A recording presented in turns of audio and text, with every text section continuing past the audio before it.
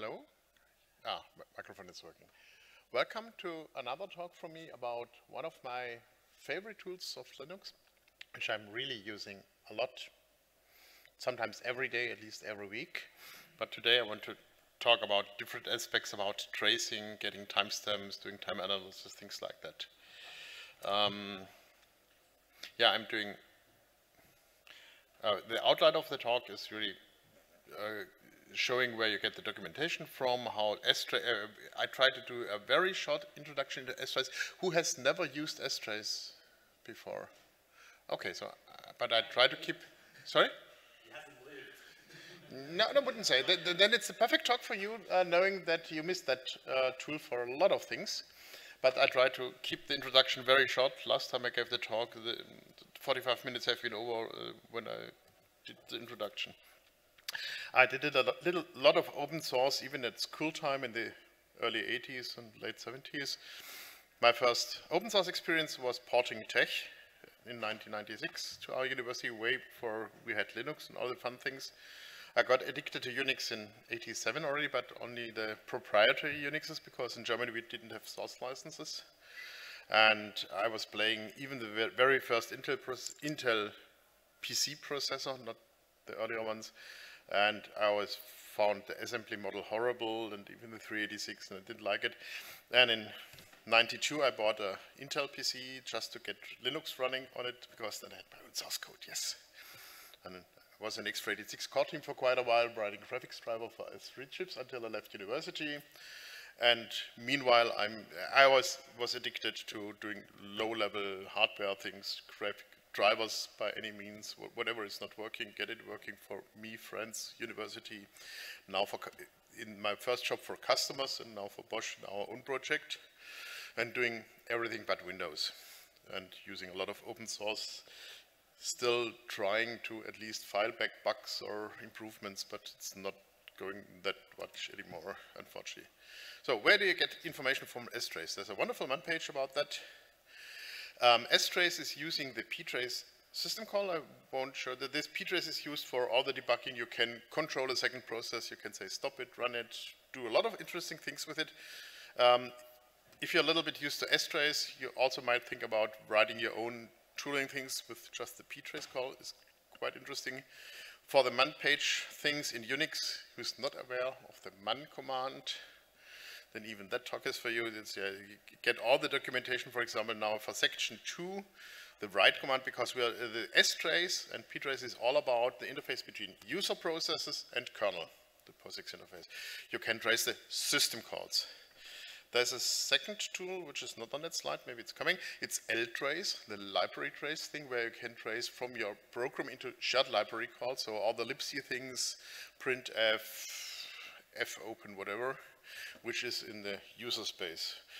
There you get even more output, and it's even more difficult to understand things, but now I'm concentrating on strace, how to uh, trace all the system calls, which are interesting for us, and where you can see a little bit what your program is doing, what the Linux kernel is doing, and how to understand things. The webpage from strace is strace.io. There you get also a lot of information. And I learned quite a lot uh, by one of the contributors, or that contributor, I don't know exactly, a, a guy from Greece, Dmitry Levin, who at least gave a lot of interesting talks at FOSDEM uh, one of the nice conference, weekend conferences in Brussels every start of the year in start of February. For other aspects uh, about strace, I gave some talks almost 10 years ago, uh, and you can find the papers also on this um, with that URL or now with the slides and the one is for understanding the strace system call thing and what it can do for you and, and, explaining a little bit and giving examples. And the second one is using strace to understand what your shell, your command line interface is doing. Then you can speci uh, specifically look on what's the bash doing if you enter command with and without quotes, with star, without star, and you can directly see what happens and learn a little bit. At least for me, it's always easy. If I see something, then I can understand and learn things. So that's for also learning how the shell things are working, it can be quite useful. Or at least about giving talks for that and explaining how it's working and how you can see if, why things happen. So a very short introduction to strace. The easy method is you say strace whatever command and run it. And when I'm in presentation mode, I cannot cut and paste things, but if, if you use the slides, you can do that. So let's see. So I can do things like that, strace, some echo command, and hello, Bilbao, and whatever. You get a lot of output already. And scrolling up, where did I start it? Where's my command? Here's the SR1 command line. Do that and run it again. So this is the strace command, and you will get all the system calls. The first one is execve. Please execute that binary with those command line arguments, and then you can see how it's loading the shared library, libc something. Uh, I have the wrong classes here. You can see opening in the libc and whatever. Have a look at that, interpret that, uh, and then just pick the things which you're interested in. Right now we're interested about echo does some output, and you will notice down here there's a write call. Say, ah, write system call. This is why I also put the man page for write section to the system call. And the write system call needs three parameters, a file descriptor, a string, and how many bytes there are. Ah, here, up to here. So this is the write system call. Already it's getting messy. And it will tell, uh, please write from that memory area string the first 21 characters then it's jumping into the kernel. The kernel does the write. This is why now the string comes in. And then it returns from the kernel and says, okay, here, this is the return from the kernel. And it said, uh, the write system call returns 21. I've written 21 bytes for you. There could be a different return code if you try to write on a disk uh, and the disk is full and say, oh, zero, I didn't write anything, or if the device does not work, whatever. If you write into pipe, maybe not all the data is going into pipe. So, and we can see it's reading some things. So very basics. There are some examples, and in the papers you find a lot of things. So method one is just strace some command. Um, ah, if I do the same thing, I like running almost every command with time in front because I wonder how long does it take to start my editor, how long does it take to compile programs. If I do that, strace time whatever, um, then the output looks completely different. And if I look here, ah, we always can have a look. What happens if I do that without a strace command? And it says hello Bilbao, and it says blah blah blah, a lot of timing and CPU and whatever. If I do the same with strace, um, we will see a lot of timing, real blah, backslash t is a tab going to the next columns, some more numbers, user, another tab. Um, if you look carefully, we don't see any write hello Bilbao anymore. This is because this command is only tracing the time command. And time will create a uh, child process. Uh, we should be able to see that somewhere on top. Right. I need my other classes. So somewhere there is a clone call and it forks the process and in the uh, clone Sorry, I can't pick it right now. And only that uh, second. Uh, so I see the SIG child when it will read. Ah, here, exactly. Oh, thank you very much. So the clone will just create a second process. We, we get the process number here. And in that process, um, it will do the echo and the write, which I've seen before, but you don't see that because it's only tracing the time command. If I want to see all the processes, the first very important option is dash F, follow child processes. And whenever you don't know, just put it to about everything because uh, if you don't know if it's executing subcommands and whatever, or it's threads. And if you do that, then, and we are lucky somewhere, ah, we can see the hello Bilbao again. This is now, now since we are running uh, trace on multiple commands, it will show, oh, this is process ID, blah, blah, blah, whatever, and and you see, and then you have to have a careful look on for which process it's doing, then that you can separate where the output is coming from. And so this is output from the first child process. We don't have only the single one, and this is now returning to the main process, where we don't see any process ID, to my surprise. Doesn't matter. So, um, first method, strace, al al almost always use the dash F option and run your commands and see how it's going. The second method is you can do a dash P processes ID. So if something is already running, your servers, whatever, you just can attach to it and can just watch it. Also, if uh, that process has subthreads and whatever, I always use minus F. Um, and you can just stop. In the first case, if you press Control C, you will stop the command itself. So if it's running for a long time, it's uh, then you will kill the command and everything. If you just uh, attach to a process with S minus P, you can press Control C, you stop the strace, but your command, your server, your database, whatever is still continu continuing. So that's quite nice also. Um, if, for example, startup is very time, time consuming or whatever, you don't want to trace everything, but ODC SSH server, a single connection. So something is not working, then you can attach to the SSH daemon, but you don't have to do that while it's starting up, or whatever your topics are. Attaching to other processes, in general, only works if you start the process in your same terminal, because there is some, uh, oops, kernel protection mechanism in the meantime and there's a proxys, whatever variable, ptrace, you have to look into that variable.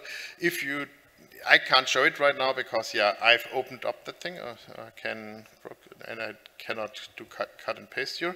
So if that thing is not non-zero, and you have a second terminal, so I would do something like that. Just give me the processes, process ID for this terminal, and I would do an strace my dash P for 3070. Then in most of the distributions you will get a permission denied error because this terminal is not allowed to uh, trace any processes from any other terminal or whatever. You're, as a regular user, you're only allowed to trace your own things anyway. So one solution is always to um, sudo, root is allowed to do everything. Then you can do the attachment, but that's tedious and you don't want to run all these things as root. Uh, the correct way, no, I'm not sure if it's correct or not, the, better way might be um, you write zero to that uh, kernel variable and then at least all your terminals from your user are allowed to trace and debug themselves. Might be helpful.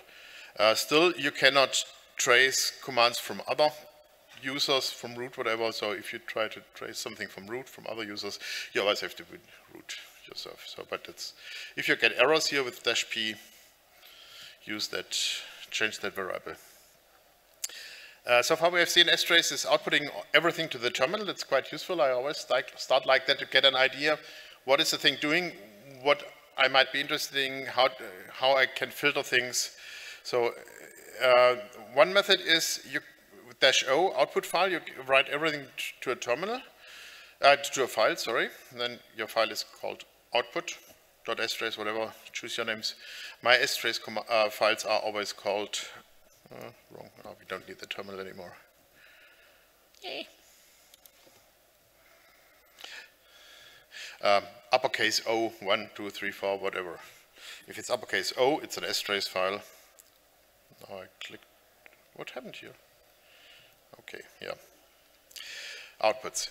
Um, the same as before, if I just do strace output tool, I only get the program itself, no children. If I do uh, the dash F option, all the children things, uh, we will see the output in details shortly, hopefully. Oh.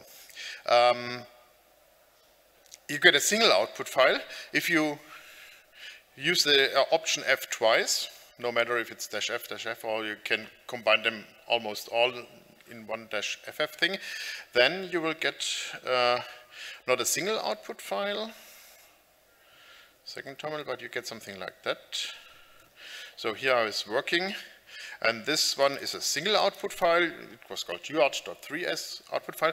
Or with double F, you get uh, a single file with uh, the process ID attached for every single process or thread or whatever. That can be quite useful. Uh, so you have everything combined and depending on what you're looking for and how you want to analyze things, it's important to understand the differences, and especially for the timestamps and other things. It's, mm, we'll see. Um, there are a few options which help you how much information you will get. Uh, read the man page for all the options. It's really and play around and depending what you're looking for. The dash V is more verbose. Uh, maybe I can show that one very quickly. Some of the uh, echo, yeah, we had the echo whatever command. Uh, next slide will show that I can do with dash E, oops, with dash E I can just ask for tracing single E exec uh, single or multiple kernel commands, not everything. And if I do that on a regular base, you can see it's trying execve, and it looks, so this is an option, for example, to see how the path lookup works and now it's trying to find echo in .cargo bin, whatever local bin, and until it finally finds an x exec succeeds. This is the one point, but it shows here only that there are um, 159 variables for whatever this is the environment. And if you have a very long argument list, then it also won't show up everything. And this is what the option dash V is for being most, oops. Oh, we can also do that like that. We can combine options and even the F and whatever. So saving some follow children and these things. And now with verbose, for example, you get the full environment and the full command line and things like that. Actually, if you look closely, it's not completely full because it says session dot dot dot because all strings will be abbreviated, all file names. If you long file names, um, it's still a problem that it only shows the first, don't know, 20 whatever characters. So if you're more, um, another system call where it's useful having the verbose option is for uh, all the stat options. If it's looking for status information on files, if it look is the file there uh, with stat, you get the file size, the permissions, and all the things. They will be shown in the strace output because it's a lot of bulky things. Then only if you use a dash v. For the strings, we just noticed are not not all strings are shown completely with a lot of dot dot dot, dot things. Then you can also do, that's what I very often, as some larger number, depending, so for this strings, I think 999 is a large number.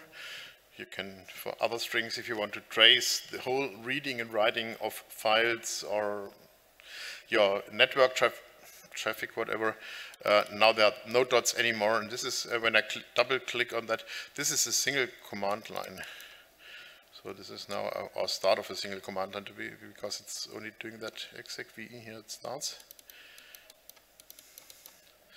You see it's a huge thing because they start the 159 whatever environment variables can be useful for tracing that things and see which subprocesses, um, for example, changes your path if it's not working well, because you see then also path for everything, write it to a file, look for things. Um, sometimes if you want to play with the strings, which I want to do later also, can be useful. Um, if there's binary stuff, uh, um, we could have seen that before if we open the libc and read things, binary things will be output in octal with backslash 0, 1, 2, 3 in a very, for me, confusing syntax, which is a little bit different to what the C standard is doing. And for that reason, uh, I found a few years ago, uh, there's an option that uh, all the binary things you can also get hexadecimal, which is a little bit easier.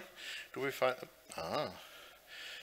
Uh, it still outputs the regular things like backslash n, backslash t, whatever. Do you see anything with binaries? Yeah, here. The regular binary things will be backslash x, always two digits then, so it's easier to parse and read in some cases. And if you do double X, uh, then all the output is completely in hex, even the printable ASCII things. Sometimes quite good for transferring things. So a lot of options and you can uh, set them multiple times. I think even verbose is possible to do it twice and does different things.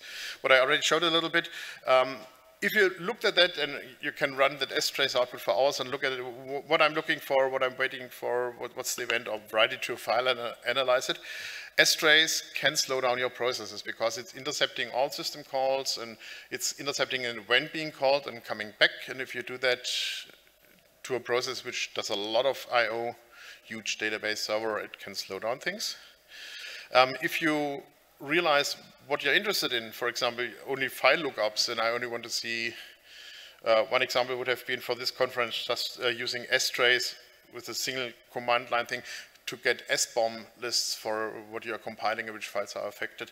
You just can use strace-e file, so you can say, I want to have the read and write system calls, and we will do that in a minute, few minutes. Uh, you get only read and write system calls for getting data and outputting data things. Uh, e is a meta file name, uh, meta function name. Um, you get a trace for all kernel calls which have file names involved. Open, start looking for things, everything where you find uh, also change mod, change directory. Everything with file names, so this is quite useful if you do that. You get about all information you want to have if a process is looking for config files, if it's opening things, if you know that you're running uh, into a method for doing SBOM, so I only want to know which files are really compiled into my tool. This is exactly what I'm doing for my project, because I had to invent those tools long time ago, and we have different hardware configurations and things, and I'm really uh, running the whole make processes through strace, only tracing the open calls. That's not too much overhead because all the other things are without strace and it's not doing adding anything for if for the system calls you're not tracing. Um, you can say strace-e open which was working nice for a long time. You get all the, uh, and, and, never forget minus F, because your make is making subprocesses and the, the compiler is making subprocesses, but so it is now only for the selecting system calls. You can say minus F, minus E open, and you get all the open calls. In modern Linux systems, you won't get a lot of output anymore because typically they are not using the open system call anymore, but open at modern things like we are not doing fork anymore, but we're doing clone, things like that. So with uh, you can also say open comma open at you can like read and write, but you're never sure if next year there will be another open call, and in the meantime, it's possible to uh, provide regular expressions. Also for that, uh, doing a search on regular expressions, and this is quite nice. You can say minus e slash open, just use everything with open in a string. It will also do do open or whatever. So might be too many system calls traced, but if it's open 32, open 64, open whatever, you will get them all. Same is true for the stat things. If you only try to figure out what your process is trying to find files, which uh, then do not exist, you can say uh, get all the stat files or stat64 or everything with stat and whatever, and when you do the full, tracing, you see what's available, then you can pick. You also can exclude things uh, with an exclamation mark. You can say trace everything, but if you notice there's a single system call which comes very often, and this is the only thing which interferes and you, can't read the rest remaining output, then you can say just forget some tracing, few text, whatever. Now we're coming to timing. This time, so fi file operations, things like that, read the papers, a lot of, not a lot, there's more explanation and some examples how what you can do. This time I want to play a little bit with timestamps, and I do not want to click here. For timing, um, there are three important options, T, T, and R. So lowercase t, uppercase t, because there was only one t for timing, and relative. We'll show that in a second. You get some timestamps, you get a more detailed timestamp, you get an even more detailed timestamp. Uppercase T will show how long it's in the kernel, and R is a relative timestamp. Uh, the years before, if you did, my list stopped here because you, if you did, my, did minus R, give me the relative timestamp, you only got the relative timestamp, and the T, the absolute timestamp vanished. And now when I prepared that talk, start of the year, and thought about that thing, I was very surprised that now you can mix absolute and relative timestamps and both show up. That's great because it's all information. I studied physics, and if you measure things, also if you measure timing, try to get as much information as you can and filter out later and learn from it and try to understand things. And uh, when I only had either relative or absolute timestamp, where it's clear you take the absolute timestamp and use your own tool to calculate deltas and things like that, but now we get that all for free. That's nice. So let's do a very quick play with these things. So what's the last command? So now I'm only curious about the timing. So let you see that once. Uh, with minus t, you just get hours, minutes, seconds. For a quick command, it's not very interesting. Um, if you do t twice, it's getting much better. Then you get hours, minutes, seconds, and microseconds. That's quite good, but if you run it for a very long time, you don't know, is it 12 o'clock today, 12 o'clock tomorrow? So if sometimes I run things for hours, days, whatever, and I do then later timing analysis, plots, whatever. This is all, and, and it's hard to parse hours, minutes, seconds, uh, getting useful numbers. So this is why you can put the lowercase t three times, and then it should just get the Unix and Linux time. This is all, these are the seconds from start of uh, Unix life, uh, uh, second since 1970, with microseconds. It's a quite nice resolution. Quick hint, if you have something like that and uh, see that dates later, and you don't know how to get back from that, it's also, you can say, please, uh, the date command can a lot of, can do a lot of good things for you, and so if I date minus d, at sign and uh, any magic number, and you get just the date in Unix in your time zone where you run has, has have been running those trace data. That can be quite useful. So back to triple T. So this is what I typically do because then I just can pick those numbers, calculate things, make differences, whatever. It's the easiest thing. Um, uppercase T, nothing happened with the times but if you look closely, now we got a new column at the very end in angle brackets, and it will tell you how many microseconds the kernel call has been taken from calling the kernel to return. And that can be quite interesting and helpful. So uppercase T, you get the time within kernel. Um, we'll use that in a few minutes, yes.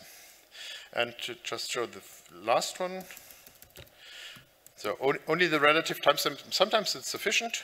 It will just tell you that that mmap was uh, running 300 microseconds after the close.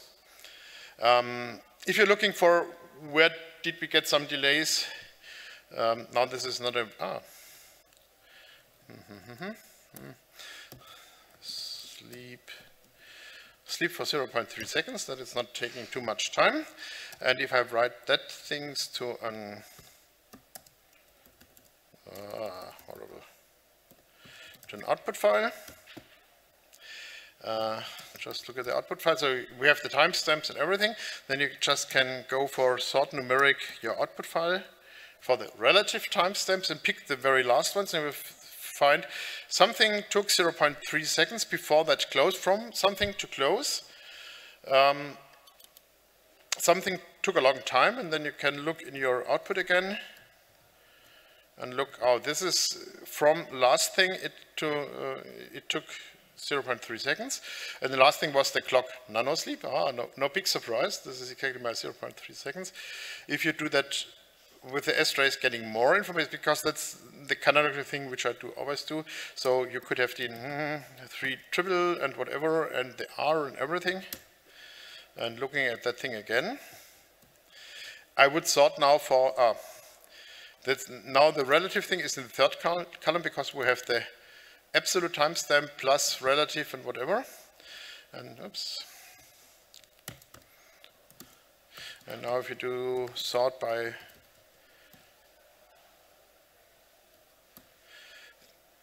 third column, we get the same, uh, then we notice, ah, blah, blah, blah, close. And we can now look in the output file for the absolute spot. Could have been that there's more relative timestamps like this, and it will show us here. And also we can see that this kernel called the clock nanosleep, whatever, has been staying for 0.3 seconds in the kernel. So it would also have been possible, sometimes helpful. The point is, here we see what's taking a long time in the kernel.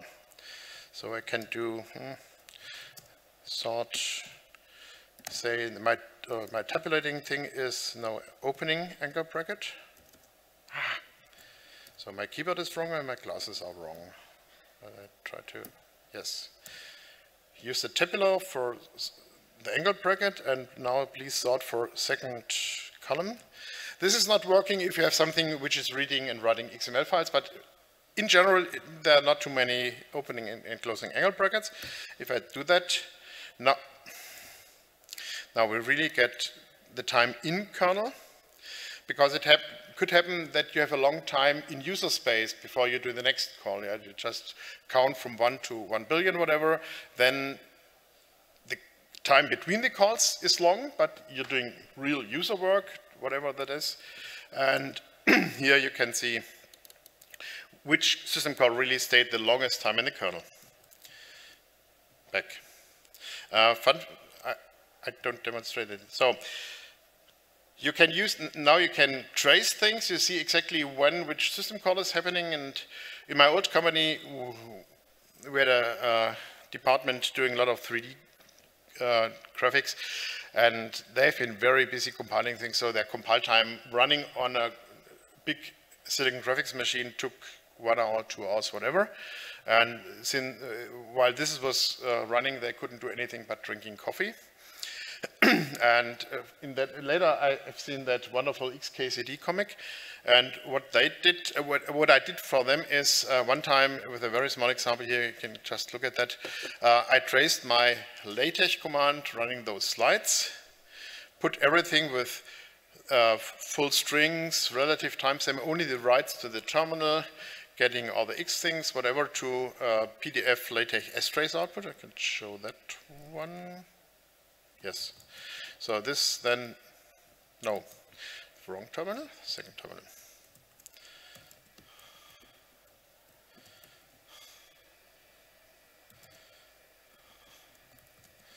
So this looks like that, what we just have seen. It's even longer lines. It's the process ID, the time before, from the last write and what it has written. And this almost looks like C code, except for uh, the semicolons at the end are missing. It says, oh, I did that. So um, you can just use your favorite whatever formatting tool and reformat that, that you get the semicolons at the end of the right lines and uh, get that one. And then the output will look like that.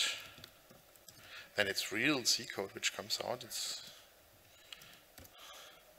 and with the first number, I just do, there's a system called usleep doing microsecond sleep. This is exactly the numbers which we got for the relative timestamps multiplied by 1 million. And then you can call usleep, wait for until it's time for the doing the next write. And then you can just uh, fake whatever. My C program for that uh, is just uh, use standard header main and include that strace, modified strace things. And if I run that, it just run at the same speed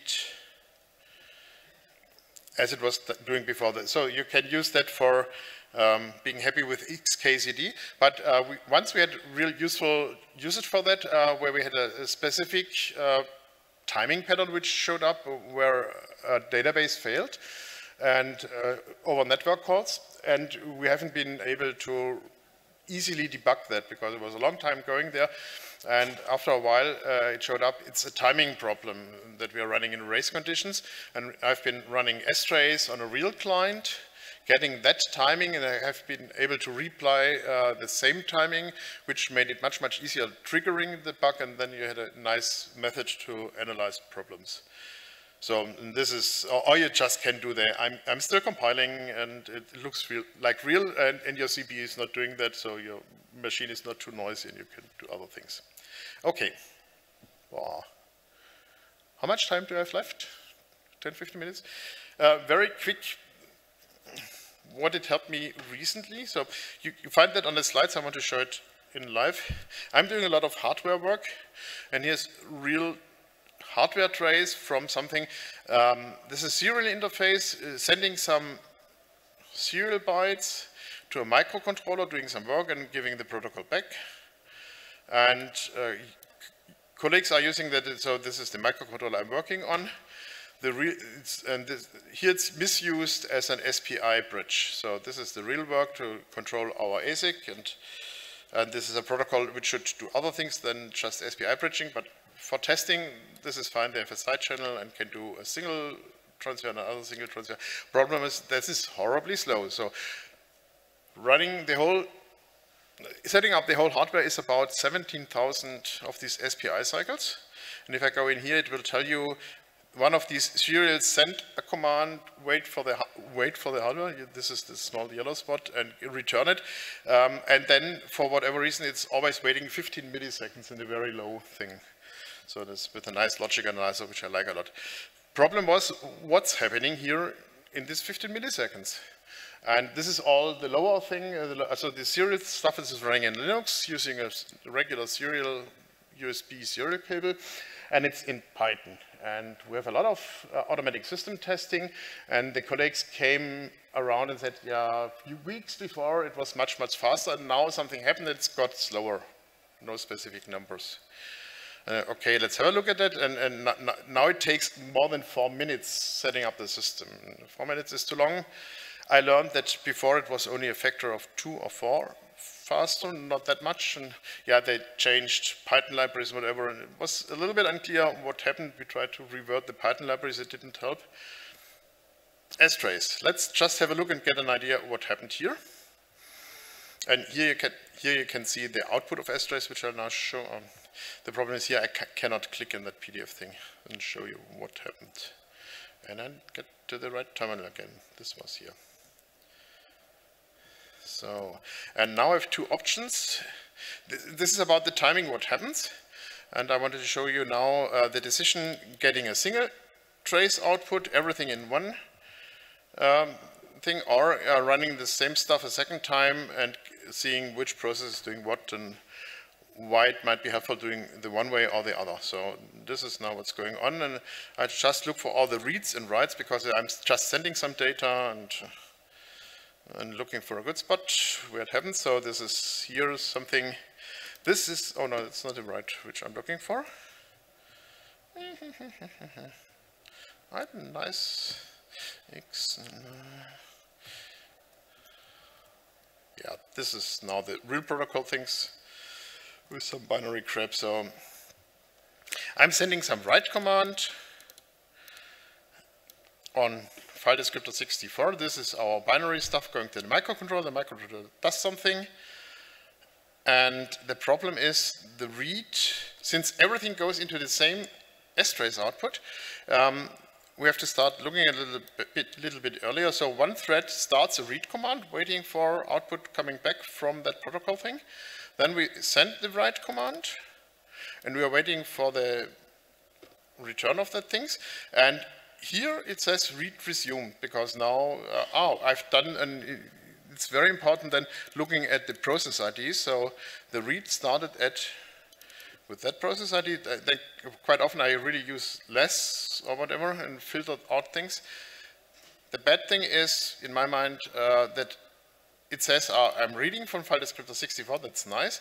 If uh, it resumes and says, ah, now I got the data, you don't see the file descriptor anymore. If you want to pick out all communication on file descriptor 64, you won't spot those files. And sometimes it's easy, useful that you can match what I send out on either here for the serial interface or uh, also if you do the same on network sockets with send and receive, uh, same problem that it's getting intercepted. And also if you look through that, it's hard sometimes to understand what a single thread is doing.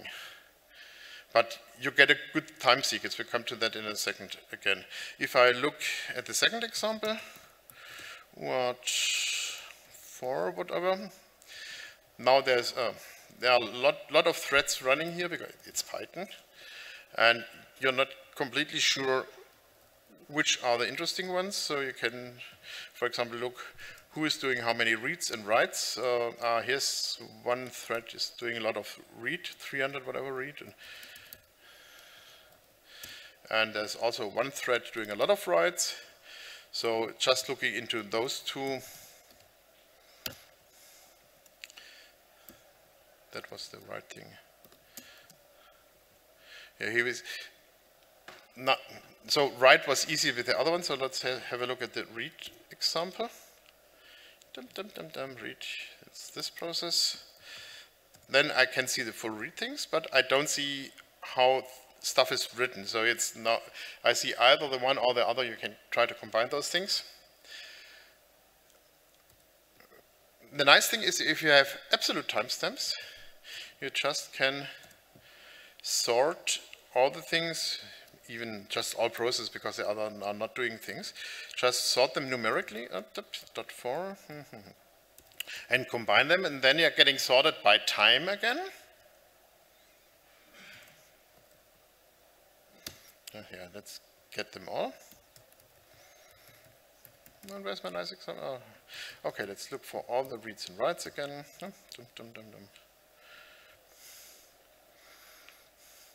And now the nice thing is I got the things by timestamps and it says, ah, read is here, write is here, read is here, write is here. Looks reasonable.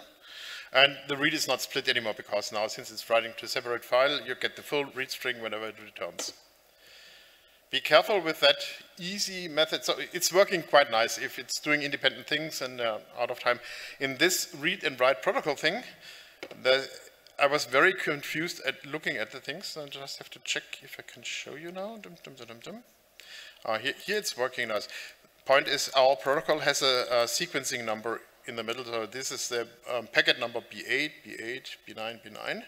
In this example, read starts before we're writing something with absolute timestamps, uh, and it's working fine.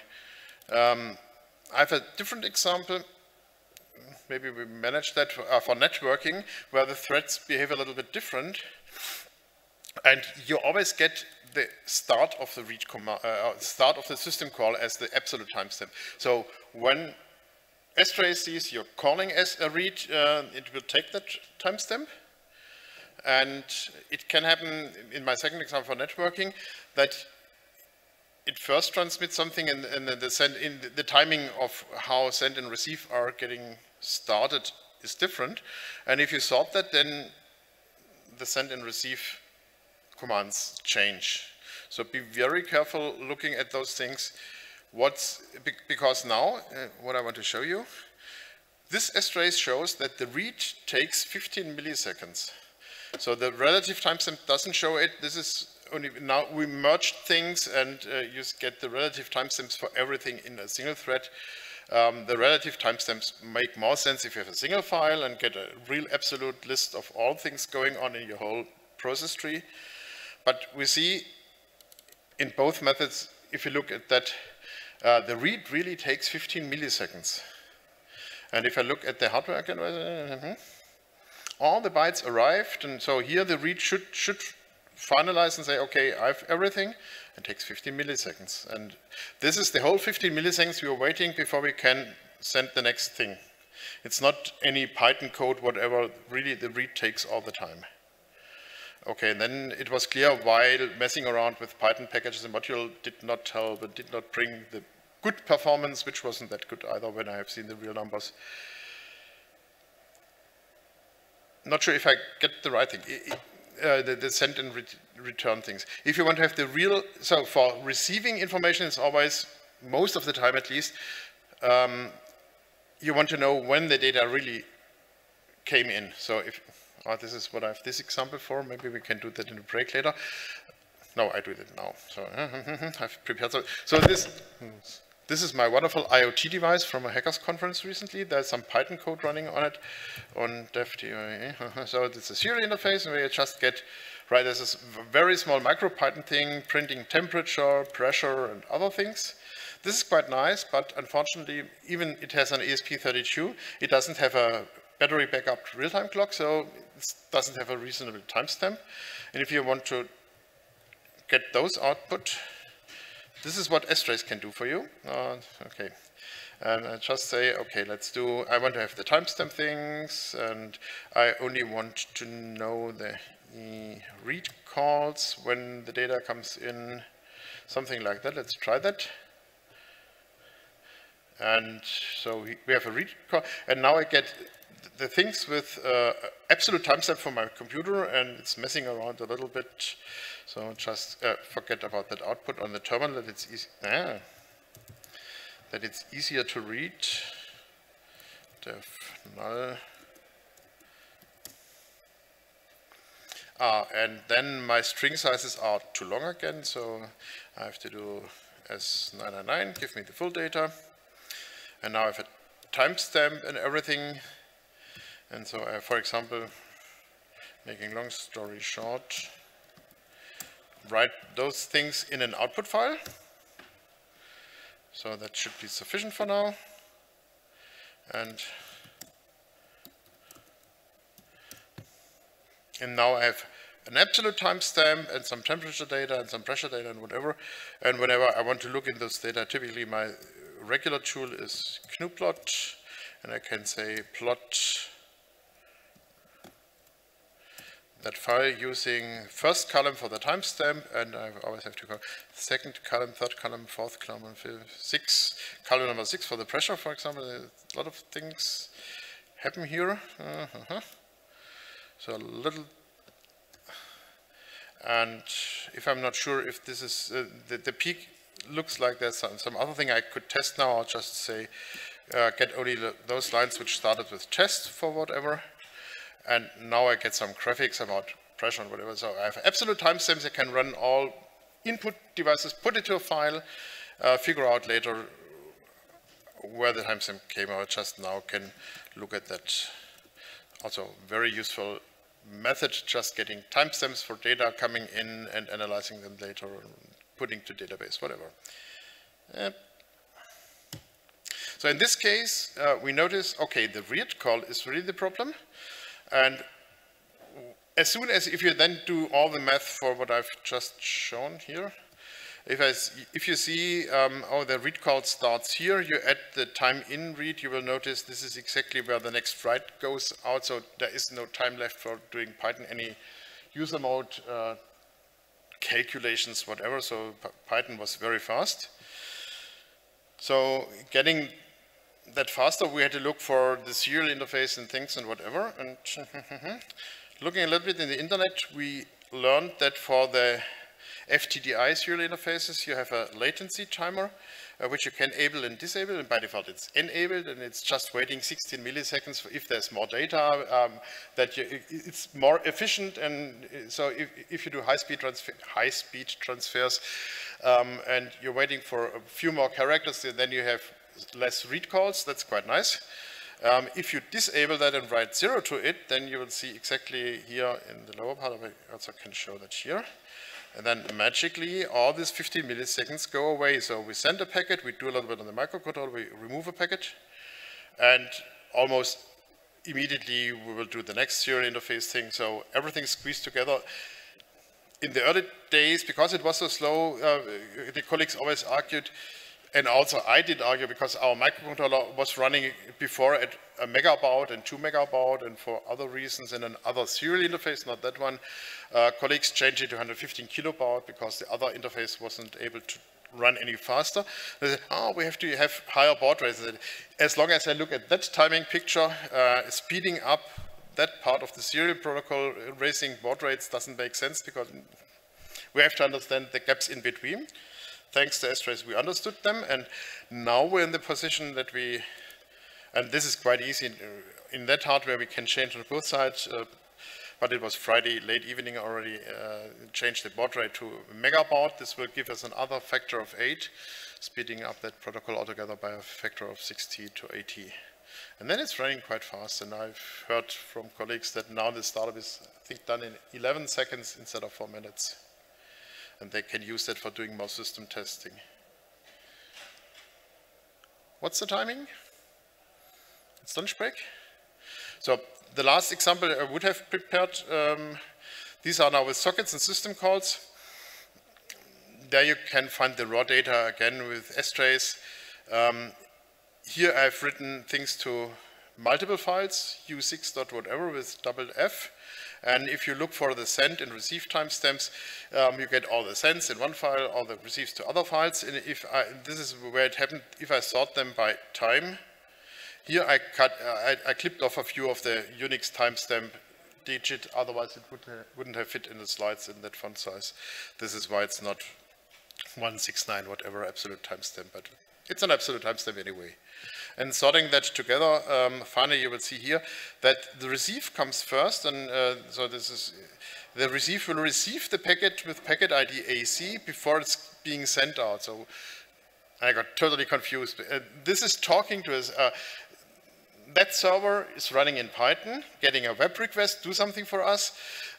This communication is going to a second Python server, which has the real hardware connection through a different interface. Uh, not that serial interface we have seen here, that all the hardware is different and that's running all on an embedded Linux system. And the colleague also came here, it's slowed down and we don't know why and whatever. Not what we have seen in the serial interface. And then when I looked at the details, I didn't understand how can I receive something which uh, an answer for the pack, uh, for, for, for, the command number AC, where the send goes later. And, and then here I receive something for the command AD, where I send out the command. The reason for that one was that really we get the absolute timestamps when the receive is started, and in, in, in that thread, only after starting the receive command, um, the send is being done, and, and it's just sorting bluntly uh, for the absolute timestamp doesn't work. But also here we see uh, that receive waits for 9 milliseconds. So this is a little bit indication, and I really have to add this 9 milliseconds to the starting time. And this is what I did in, uh, on command line. I like doing things like that in with AWK, so with horrible AWK, whatever. I just get the number from the last thing, add it to the column number one, add it together. Then if you sort that all, um, then you notice, then now I first send that command with sequence AC, and a little bit later I receive it, and we can have a look at the absolute timestamps if I just sort out all these timestamps uh, from different files, then the relative timestamps don't make too much sense anymore. With another AWK command, I just can use the absolute things in front. Now these are the read, uh, now it's always when the read or send returns. For the send, it's below a millisecond, so send is very fast, it doesn't matter. But here the read took 9 milliseconds for delaying 12 milliseconds, 12 milliseconds, things like that. And if I redo the relative timestamps, I also can see what's taking time. It's really the receive, which is waiting a long time, and in absolute timestamps, the send is only done 12 milliseconds after receive has been received.